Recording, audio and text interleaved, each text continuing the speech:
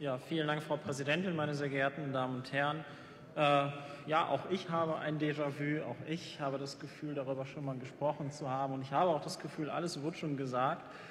Ähm, ich möchte aber die Gelegenheit nutzen, um trotzdem noch meine, meine Kritik zu äußern an dem jetzigen System. Herr Löb gesagt ist äh, eben ganz richtig, das System, so wie wir es jetzt haben, ist halt Jahrzehnte alt und es ist nicht gut. Es ist bei weitem nicht gut, denn es bietet sehr viele Lücken und Regelungslücken und es wird auch tatsächlich missbraucht. Und das weiß ich aus eigener Erfahrung. Ähm, ein großer Kritikpunkt ist, dass wir momentan ja, ein, eine Kultur des äh, das Ausnutzen von ehrenamtlichen Engagement haben. Ja, auch in NRW heute tagtäglich, besonders am Wochenende, sind Hunderte, wenn nicht sogar Tausende von ehrenamtlichen Rettungsdienstlern ähm, im Regelrettungsdienst beschäftigt eingesetzt. Sie können sich das so vorstellen, eine Fahrzeughalle, eine Garage, zwei Fahrzeuge mit jeweils zwei Personen.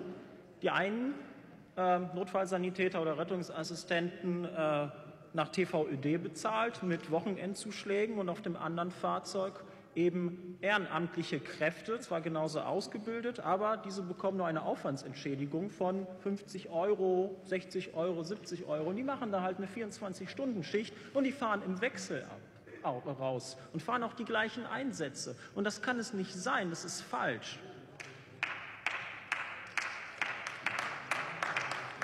Und Mitarbeiter von Hilfsorganisationen sind zudem auch noch strengeren und schlechteren Tarifverträgen unter, unterworfen im Vergleich zum TVED und müssen da auch deutlichere Abzüge verzeichnen. Einige der Privatanbieter hingegen schließen in ihren eigenen Haustarifverträgen deutlich mitarbeiterfreundlichere Verträge ab.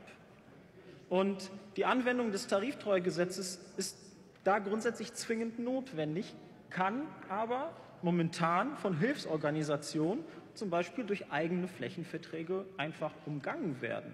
Und das wird auch schamlos gemacht. Und auch das ist nicht richtig. Ähm, zudem haben wir auch noch das Problem, dass Mitarbeiterinnen und Mitarbeiter von zum Beispiel den Johannitern oder den Maltesern dem kirchlichen Arbeitsrecht unterworfen sind.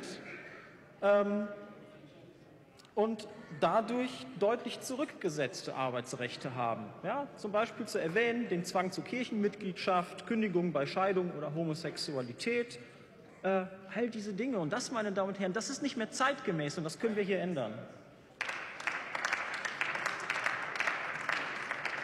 Und ähm, vielleicht ein letzter Appell. Ähm, wir brauchen Transparenz, wir brauchen Transparenz vor allem im Vergabeverfahren, weil Transparenz im Vergabeverfahren würde viele der entstandenen verkrusteten Strukturen aufbrechen und profitieren. Profitieren würden davon die Mitarbeiter. Insofern Appell an die Landesregierung, arbeiten Sie auch mit den Hilfsorganisationen zusammen. Wir haben hier eine, ich weiß, Sie tun es, Frau Ministerin, ähm, wir haben hier eine einmalige Möglichkeit, tatsächlich die Arbeitsbedingungen in diesem Bereich zu verbessern, denn sie bei, sind bei weitem nicht gut.